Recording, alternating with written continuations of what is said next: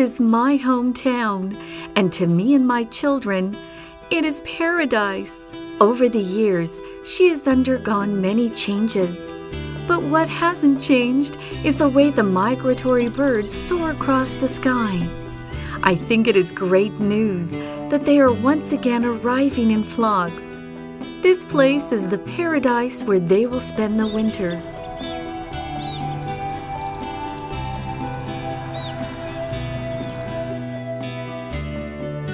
Today, I took my kids to explore the wetlands. They pointed at the fiddler crabs in surprise, and I told them that the wetlands are home to many unexpected creatures.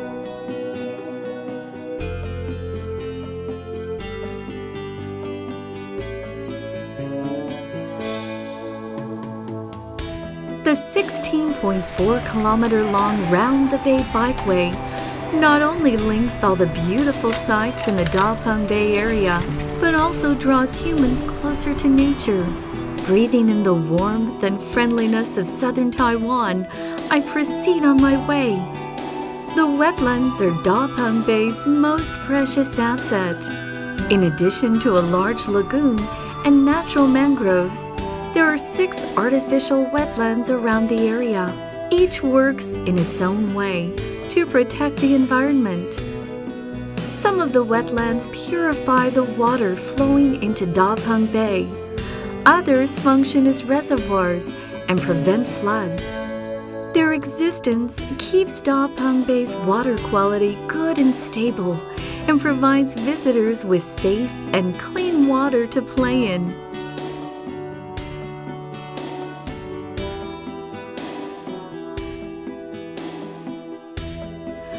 Leaning against the bridge pavilion, watching ducks foraging in the pond. Great egrets mingle among them, while common moorhens stay cool nestled in the reeds. With light breezes blowing against me, I'm feeling much closer to nature. In addition to their ecological functions, every piece of wetland here has its own distinct characteristics. All of a sudden, I see a large ship in the distance. This is the landmark of the Qifeng Activity Center. In addition to providing flood detention, the wetland here has a bridge arching over it, adding a poetic atmosphere to the place. Let's pause for a while among these beautiful sights. Admire the groups of wild birds and the broccoli like gray mangrove trees at the edge of the wetlands. At the Jialian Community Wetlands, we can see ducks leisurely gliding across the water, creating ripples on the surface. There are well arranged wooden walkways here that allow people to observe the water birds at close range, as well as take a rest. Here at Dapeng Bay, you can go for a ride around the lake on a bicycle or choose another way to experience the beauty of the Da Bay wetlands. Follow me now, and we'll glide on this little boat together into the amazing world of Dapeng Bay's mangroves. Going aboard a flat bottomed boat to tell tourists about the beautiful natural environment here is an important daily job for me. Ladies and gentlemen, boys and girls, welcome on this exciting journey into the mangroves. We will be observing this natural habitat from a very close distance, so please remember not to make any loud noises that might startle the inhabitants here. When we go into the field to observe nature, we have to pay attention to a number of things. Currently, there are only six species of mangroves left in the Da Bay scenic area. The gray mangrove, Kandelia, red mangrove, black mangrove, looking glass mangrove, and incense tree. The natural distributions of these species vary from north to south, and the black and red mangroves can be found only south of Jiayi. Because the mouth of the Danshui River in northern Taiwan is located at a higher latitude, only kandelias, which can endure colder temperatures, can survive there. On the other hand, gray mangrove trees have a stronger adaptability to different environments. The gray mangrove is the dominant species here, and this is as far south as you can find it. At high tide, the roots and stems of the gray mangrove trees are submerged and unable to obtain air from the soil. But their air roots protrude from the water to keep them from drowning.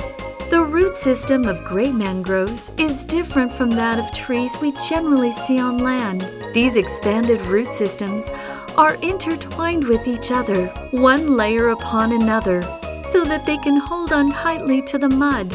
The gray mangrove trees on the banks of the fish ponds can stabilize the soil and prevent it from collapsing. It is not easy to survive in a place like this, where the salt content is high and the sea wind strong. The gray mangroves have developed a set of unique mechanisms for survival. In order to release the large amounts of salt they absorb from the seawater, the backs of their leaves are covered with a grayish white fuzz that removes salt while retaining water. When moisture evaporates, salt is drawn out of the plant. Another key mission of the mangroves is to provide feeding and resting grounds for fish, shrimp, and crabs. Mud skippers are little creatures that love to play in the mud. Mud skippers breathe through their skin and must keep their bodies moist. That way, they can stay out of the water for long periods of time and rest on the land.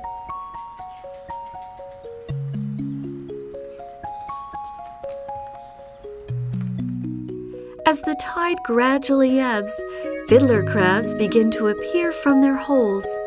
To beat the next incoming tide, they begin to feed non-stop as soon as they climb out of their holes.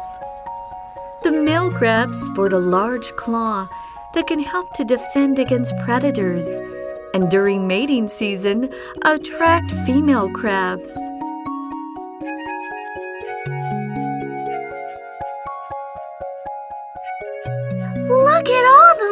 Creatures! But why did they disappear into their holes all of a sudden? Children, those are the white fan fiddler crabs and mudskippers. Our sudden arrival scared them, so they all retreated to their holes. But it's okay. If we keep still and wait patiently, they will climb back out soon enough.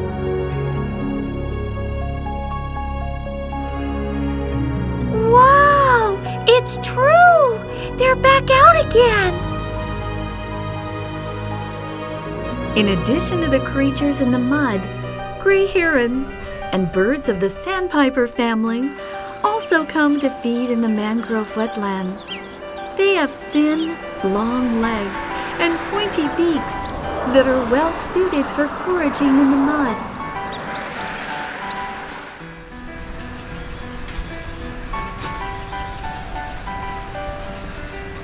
This is where the water birds come to rest, and some egrets will even build their nests and raise their chicks amid the mangrove trees.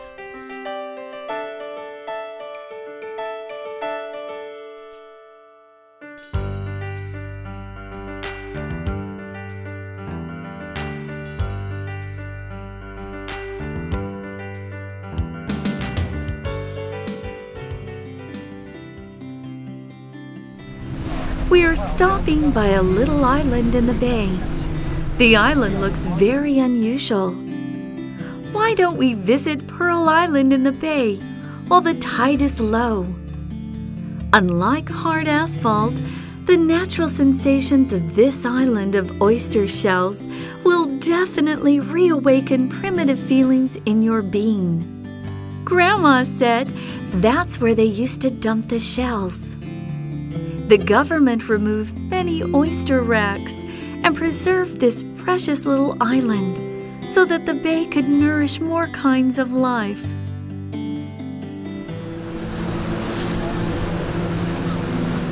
After you finish seeing Dapeng Bay, you can visit Little Liuqiu, home to beautiful intertidal zone creatures.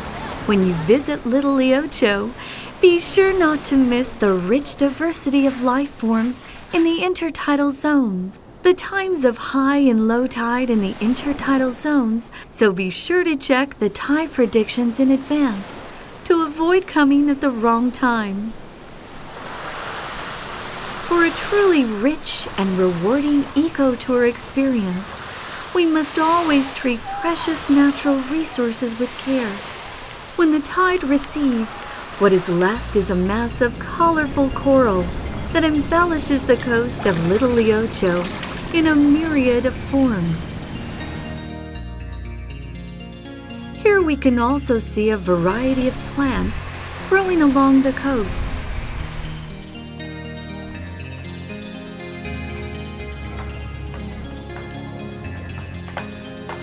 Walk along the corridor and you will come to the tidal flat, teeming with life.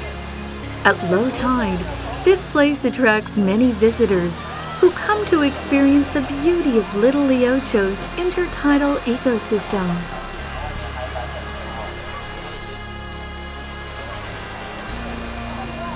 Visitors to the tidal flats can't help but be amazed at the diverse variety and abundance of life forms they find here.